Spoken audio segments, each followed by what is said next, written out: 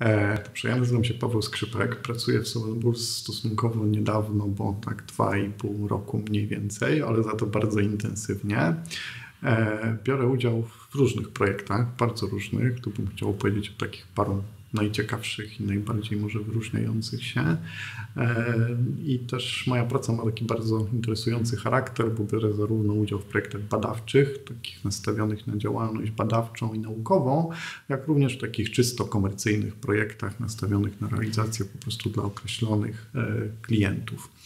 E, I biorę też udział w takich dwóch jak gdyby obszarach, które teraz stanowią core rozwoju technologicznego Seven Boots, czyli cloud computing i artificial intelligence.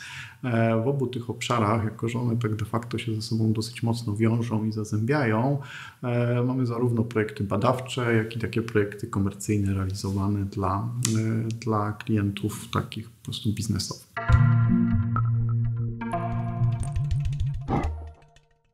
Nagrywa? Nie.